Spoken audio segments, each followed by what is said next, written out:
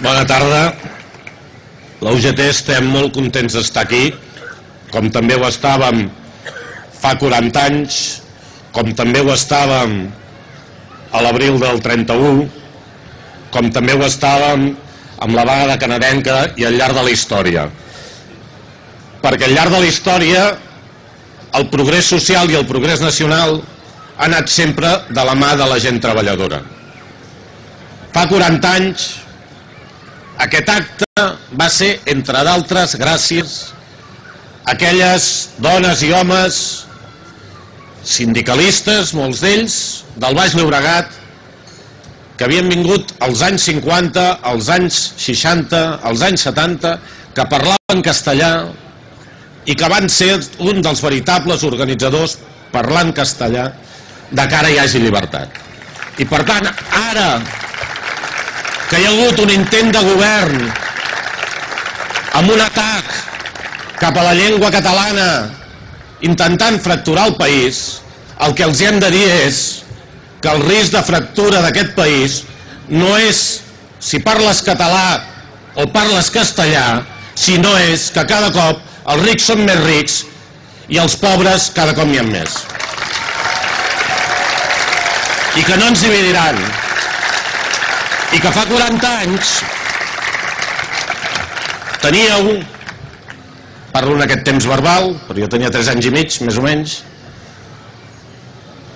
teníeu els militars i els censors vigilant-vos.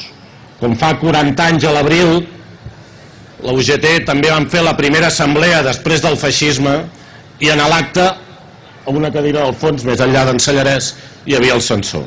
Com molts de vosaltres vau patir en aquella època. Bé, aquests ja no els tenim.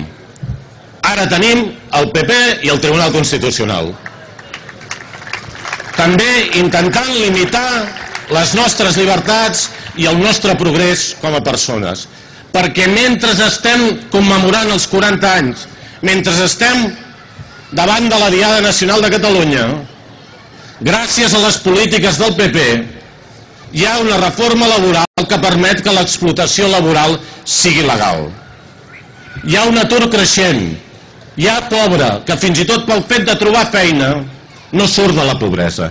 I aquesta és la gran lluita que també s'ha d'incorporar en la lluita nacional. Perquè per nosaltres la grandesa de Catalunya no es mesura per una bandera catalana ben gran a la plaça Catalunya de Sant Boi de Barcelona, sinó perquè sigui una Catalunya on la gent tingui feina digna, on l'educació sigui pública, on la sanitat sigui pública, on no hi hagin desnonaments, on els rics paguin els impostos, on tinguem garantit un sistema de pensions per tothom. Aquesta és la gran Catalunya social i nacional que hem de construir entre tots, sumant, com es deia, com un sol poble, des de la cohesió social. I així és com avançarem de veritat en aquest país. Hem aconseguit grans consensos en aquests últims anys i els hem de continuar treballant, construint, sumant. Aquí no hi ha bons i dolents perquè s'aposti per un projecte polític o un altre.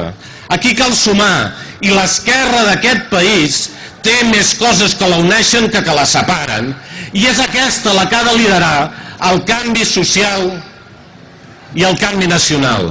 Estarem tots d'acord dels que estem aquí, igual que els que estàveu fa 40 anys, amb dues coses que no es pot continuar ni es podia continuar com estàveu llavors ni com estem ara que l'estat autonòmic ha fracassat o s'ha acabat que cadascú li digui el que bonament li plagui en aquells moments defensàveu el sortir de la dictadura perquè havíeu sortit encara d'aquella manera i ara afirmem com s'afirmava llavors que hem arribat a un final, que cal construir un nou futur, i amb això hi estem d'acord, i que això s'ha de fer votant.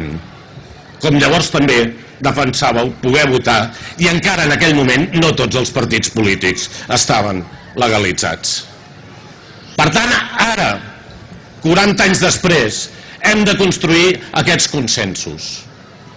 Aquests consensos al voltant de que cal canviar, de que cal unes polítiques reals socials per enfortir Catalunya i que s'ha de fer des del dret a decidir. La ciutadania, la gent treballadora, deleguem en la política, els governs, però volem seguir decidint sempre i cada dia. I finalment, sabeu que quan l'aigua es junta, sembla, una gota sembla dèbil, l'aigua junta és forta i pot tombar coses. Doncs l'aigua, com la gent treballadora, quan anem junts, tombem tots els murs que facin falta. Visca la gent treballadora, visca Catalunya.